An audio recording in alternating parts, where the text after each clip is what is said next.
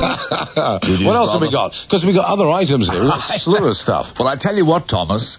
Whilst you're about Bon Jovi and Guns N' Roses, what about a copy of the Miracle album signed by Queen personally? Good one. That's the next one on our auction list, all right?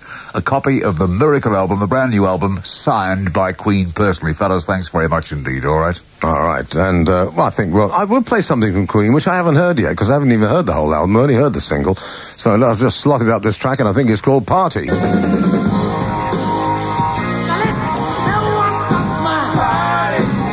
That is a track from the album which is called Miracle. It's the brand new album just come out by Queen. We have a signed copy of the album. Currently, the highest bid for that is 151 quid. Don't forget the What? phone number is 016374343. At the moment, we have 151 pounds for a copy of the Miracle album signed by Queen.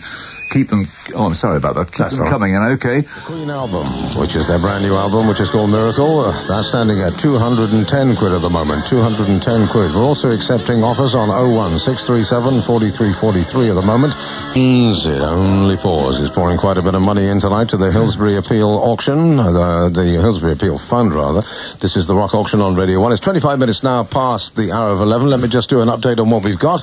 On the Queen signed album, the Miracle album, which is their latest 500 quid is the current highest Way. offer. All right, 01637 43 Just let me recap on that. The Queen album, 500 quid is bid at the moment on Guns N' Roses. Hang on, there's a change going. The Queen album has now gone up to, uh, Liddy, I can't see it, put it down. 550 quid, 550 quid. To close out one of the things now, we're going to close out the Queen signed album.